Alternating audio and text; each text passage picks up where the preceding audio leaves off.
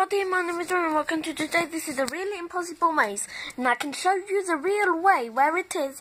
It's a very very short way and it's you start from here here, one of these or one of these. You might end up to a different spot. Without one of these you might end up here. When you saw one of these you might end up right in circles somewhere there.